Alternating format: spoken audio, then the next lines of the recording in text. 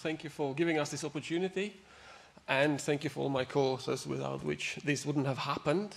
I have five minutes, so my goal is to leave you with a couple of key messages. I will not go into the detail and I will not try and present the science. Um, what we aimed to do is rather than look at agroforestry in kind of theoretical concept, as and it gladdens my heart to have it seen mentioned in the previous projects, what we aim to do is to look at how this can actually happen on the ground. How can this work within the UK context? So the, the logic of our approach was that agriculture covers 70% of the land in the UK. So if we want to plant trees, maybe that's the place where we should try and do it because this is where we have the biggest opportunity.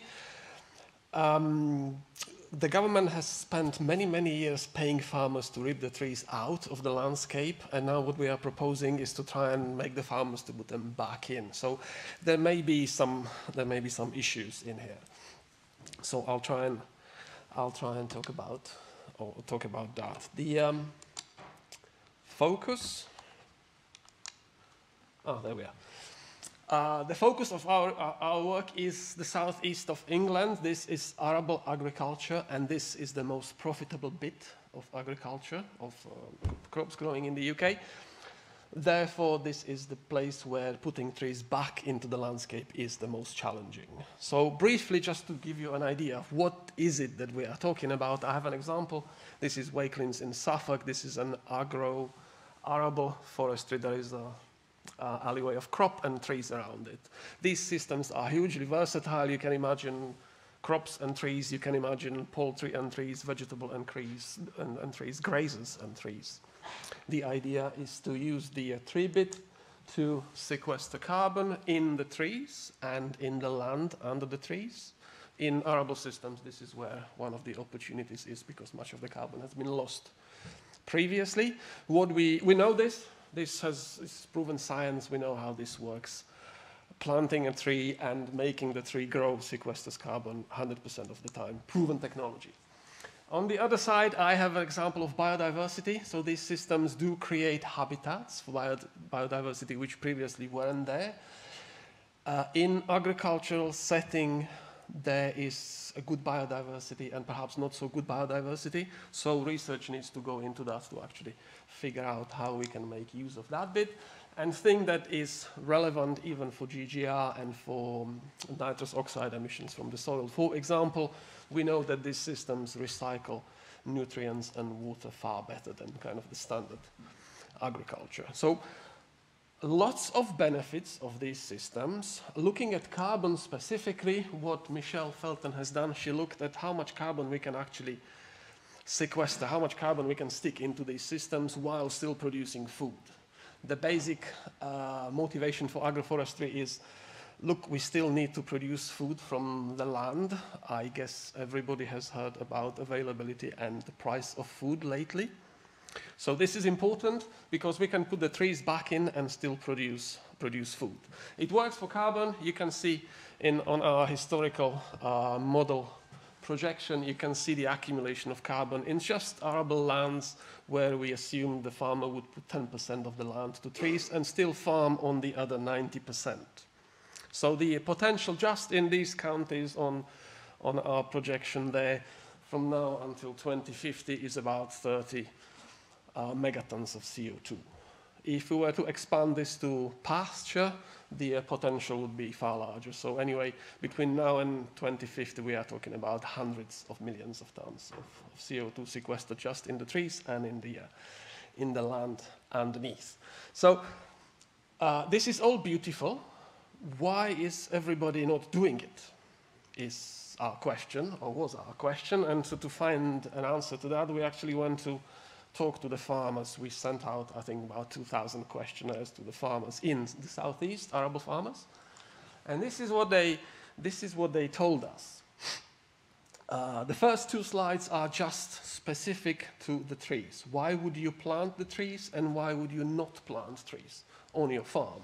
So this is what, what comes out. These are the opportunities. So why would a farmer, arable farmer in the southeast of England, plant trees on their farm uh, looking at issues relating to carbon sequestration, you can see Um, on-farm potential for timber, it's very low priority. Most farmers said, this is not a clear opportunity for me, it doesn't quite work. What they did say, however, and this is where you can see the big green bars, is yes, I would plant trees on my farm because I get some fuel for heating and I get some opportunities to sell the uh, timber or, or, the wood for, for heating other people's houses in my locality, which doesn't do anything for carbon sequestration because the wood is burned. Okay, so there may be an opportunity here for BECCS at the margin, I'm guessing.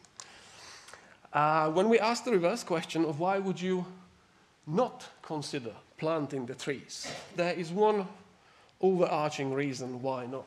If I just put the arrows on my slide here, you can see four of them. What they have in common is money. Trees on a farm are perceived as an opportunity cost. So as a policymaker, if I come and square this equation, I think I can start working on this. The only one that was uh, positive, or where we could see this is something where things are changing, is the attitude. This historically has been negative. As I've mentioned, we paid farmers to rip the trees out. This takes generations to, to undo. So the attitude of the landowner, the person that actually holds the title to the land, to planting the trees, it's mildly positive now.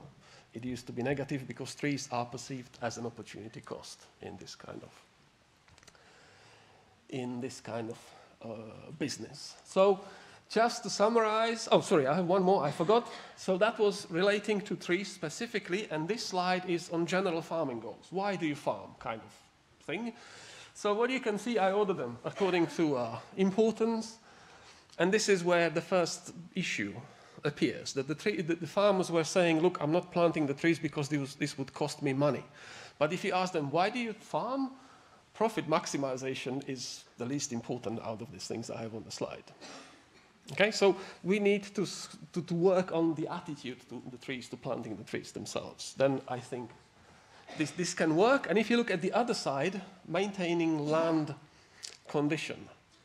This is broadly uh, describing the farmer passing the land on to the next generation. This is very important, and I think this is where, where tree can, trees can come in big time, because this is where the trees can be used to maintain the land and perhaps even recover it. So that's what, that's what we found out. This is what, what we got with our short project. So the main messages or the, the main outcomes, what we've learned from, from this work is that there's a number of real and or perceived advantages and disadvantages to agroforestry or to putting trees back into the farming landscape.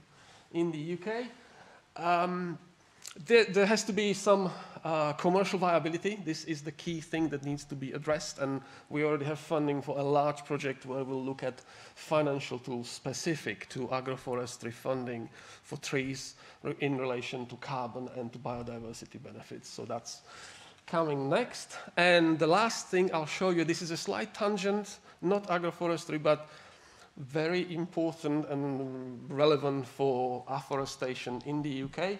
This is a different research project one of my students did, and what, what he's done, he projected uh, several different trading scenarios on land use in Wales.